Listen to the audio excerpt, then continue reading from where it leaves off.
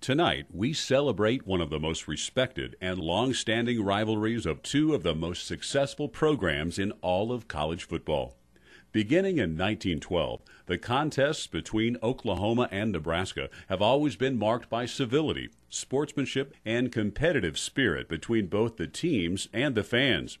There are very few collegiate football programs that match the success of these two schools.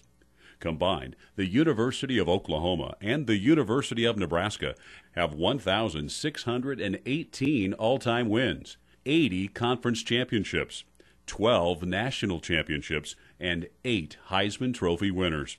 This evening, we are honored to recognize many of the great players and legendary coaches from both programs as we celebrate this respected rivalry and the best of college football.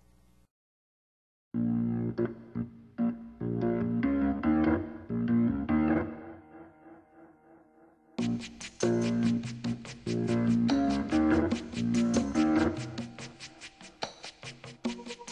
is about there's something evolving.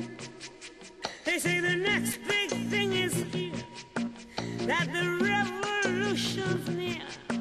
But to me it seems quite clear that it's all just a little bit of history repeating.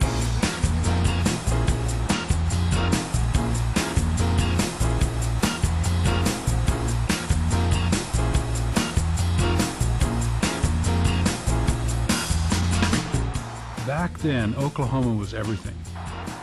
It was the most important game to me in this season. I would have lost three or four other games if I could have beaten Oklahoma. There was so much uh, electricity in the air. You've been building up and building up and looking forward to it. It was like a big heavyweight bout. It was just awesome. The nation stopped to watch that game.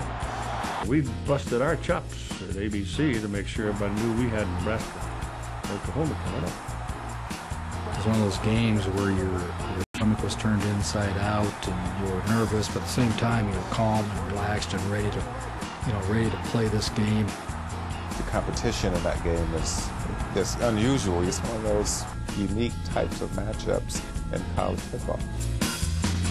Man, girl and boy, feel the pain, feel the joy, and sidestep the little bits of history repeating.